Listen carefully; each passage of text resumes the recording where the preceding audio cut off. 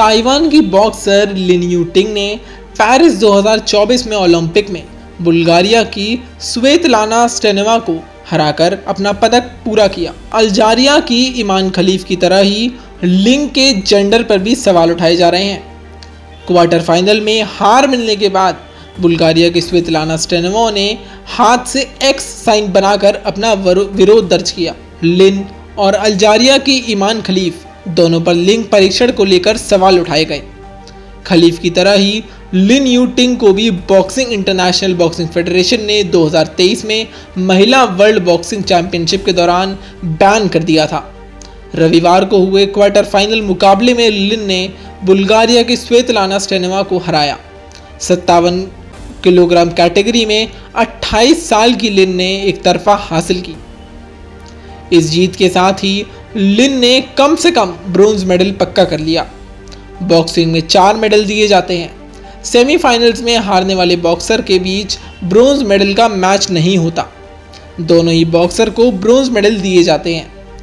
मुकाबले के बाद चौंतीस वर्षीय स्वेतलाना स्टेनेवो ने दर्शकों को अपने हाथों से एक्स का निशान दिखाया। गुस्से में दिख रहे स्टेनेवा ने पत्रकारों के बात करते हुए इनकार कर दिया।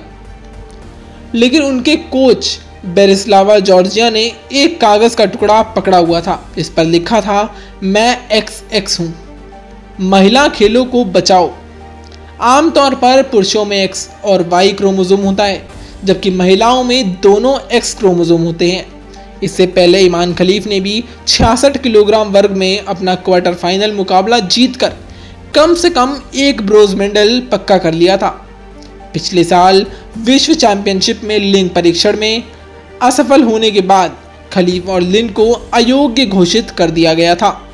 लेकिन पेरिस ओलंपिक में उन्हें खेलने की अनुमति दे दी गई। दोनों मुक्केबाज 2021 में टोक्यो ओलंपिक में भी हिस्सा लिया था, लेकिन कोई भी पदक नहीं जीता था। गौरतलब है कि अल्जारिया की ईमान खलीफ भी क्वार्टर फाइनल मुकाबला जीत चुकी हैं। ईमान खलीफ ने क्वार्टर फाइनल मैच में हंगरी की लुकाना हमोरी को हराया था। खलीफ ने मुकाबले में एक तरफा पाँच शून्य से जीत दर्ज की। अब 7 अगस्त को सेमीफाइनल मैच के लिए मैदान में उतरेंगी। ऐसे अपडेट्स के लिए देखते रहिए न्यूज़ वेल इंडिया।